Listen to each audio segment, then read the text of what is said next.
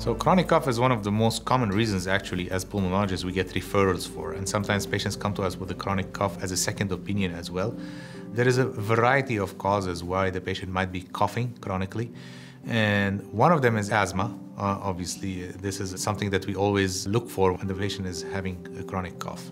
And we also make sure they don't have any other pulmonary conditions like interstitial lung diseases or COPD or any other pulmonary or airway disease that might be causing the cough. But there is other non-pulmonary causes for chronic cough or causes that are not originating from the lungs themselves. So actually acid reflux is a very common cause of cough as well which also we always always look for that and treat that for patients with unexplained chronic cough.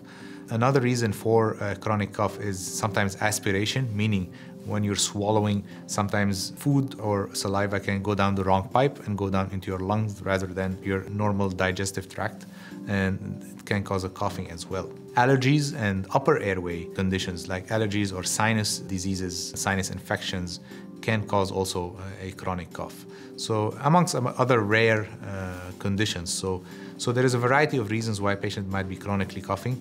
And in our clinic, we try to eliminate one cause after the other to reach a point where we can identify a cause and provide the appropriate treatment as well.